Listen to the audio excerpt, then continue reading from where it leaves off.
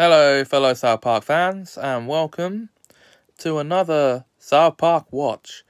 And let's talk about our favorite episode The Mexican Staring Frog of Southern Sri Lanka.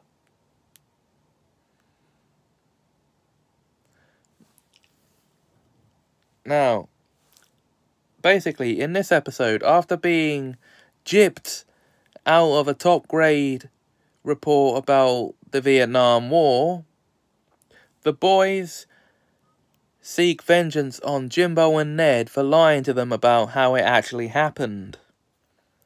So, first of all, before I tell you what they do, here's how Jimbo and Ned remember the war.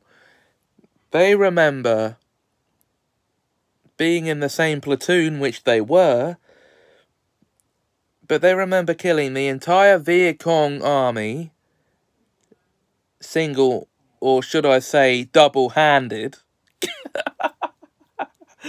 um, and they also remember riding a log ride.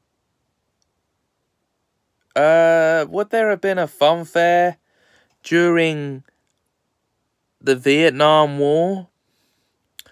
And they also remember there being galloping steeds horses, and songbirds. Hmm. Which version of the war are they describing? Now, here's how the boys get their vengeance. They make up this story about a frog that can kill you with one stare by using a toy frog as their prop and it's the Mexican staring frog of southern Sri Lanka, which Jimbo and Ned end up covering an episode of on their Unsolved Mysteries type TV show. Jimbo's Mysteries of the Unexplained. And all this, Jesus' producer for Jesus and Pals invites them on the show where they cause a riot by lying, bearing false witness. All the palaver of a South Park episode. Anyway.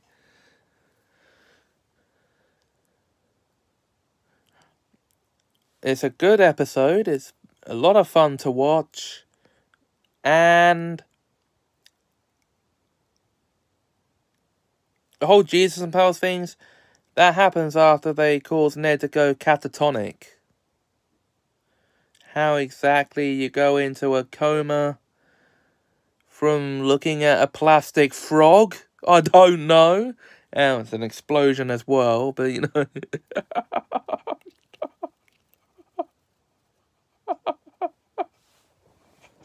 anyway.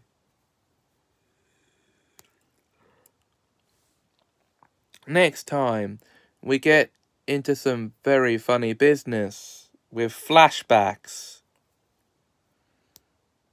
Until then. Oh my god, you killed Kenny! You bastards!